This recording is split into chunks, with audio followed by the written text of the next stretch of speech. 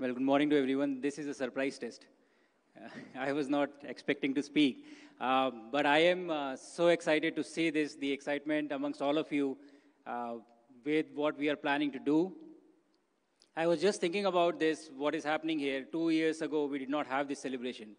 Last year, we started 2024, uh, and this is 2025. And within two years, this is the excitement that we have been able to create.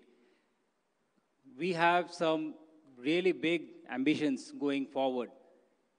Gaganyaan mission, Antariksh Station, and eventually landing on the moon.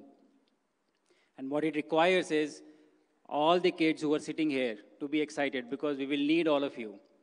And I'm so happy to see that you're already being a part of various competitions that are being organized and competing among us, uh, you know, yourselves and in turn creating this curiosity about space exploration. I think to achieve such big and bold uh, ambitions that we have, it requires the resources of an entire nation, right from the kids. ISRO is already doing a fantastic job in involving everyone because this is what we need going into the future. The industries, the schools, the academia, and the resources of the entire country to make these ambitions a reality, a goal. The celebration or the excitement that I see here in this room, uh, let me tell you, in the past one year, I've been traveling globally for uh, my training for the Axiom 4 mission to the International Space Station. This excitement is not limited to this room. This excitement for India is present all over the world. Wherever I have gone, I have interacted with everyone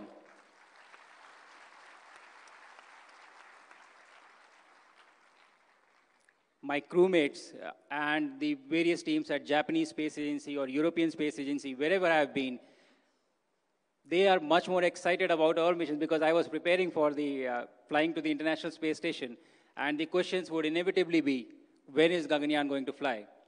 And they, you know, made me sign a note that whenever they, whenever you do fly, you need to invite us for the launch, and we want to travel in your vehicle from Indian soil on an Indian launch vehicle very soon.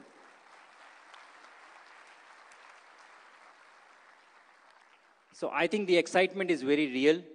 We have great ambitions, and I think now, since the responsibility has been given, it is our job and duty to perform them. And so I'm so happy to see that is already happening in a lot of ways. And I can't tell you how excited I am to be present here at this point of time. I think this is the golden period for our country as far as space exploration is concerned. Let's get higher and faster together. Thank you.